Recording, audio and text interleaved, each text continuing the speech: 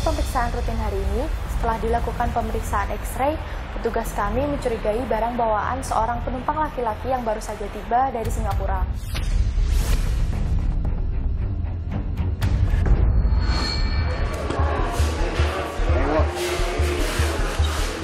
Pakai ya? Iya, saya. Masih ada notanya nggak? Notanya di dalam ada nggak,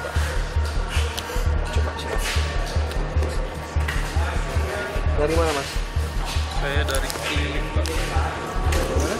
Keliling. Untuk ini masih ada nggak? Kenapa? Notanya ini masih ada nggak? Kayaknya ini udah diambil, Pak. Buat teks refund. Ada tes rupanya ada nggak? Paling saya scan ya. Setelah kami lakukan pemeriksaan lebih lanjut, ternyata penumpang tersebut kedapatan membawa sebuah kotak kosong. Kemudian petugas tersebut menanyakan kepada penumpang apakah isi dari kotak tersebut, yang kemudian diakui oleh penumpang tersebut merupakan kotak dari jam tangan yang ia gunakan. Yang ini mana? Invoice. Diambil kan, Pak, pas teks refund. Satu lagi ada? Ada tuh satu.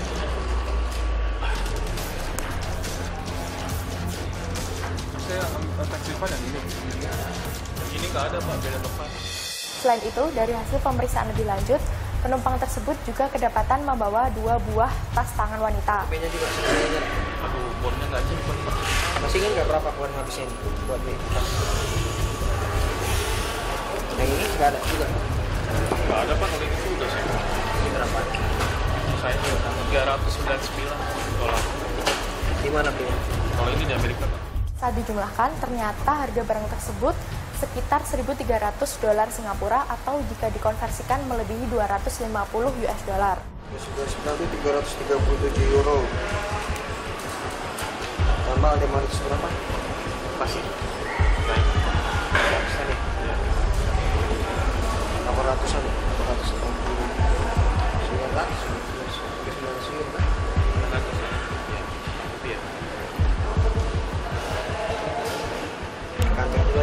Boleh. Maka atas kelebihan biaya tersebut, penumpang ini dikenakan biaya masuk terhadap barang bawaannya. Itu bukan tax refund ya? Tax refund ya? Iya. Untuk apa? Voice. Oh iya, untuk pembeliannya. Kan diambil Pak, kalau tax refund diambil.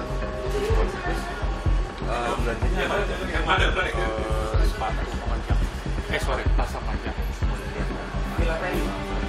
Itu kan di situ ada setiap penumpang itu dikenai batasannya 250 lebih yang dari 250 dolar itu baru dikenakan pajak.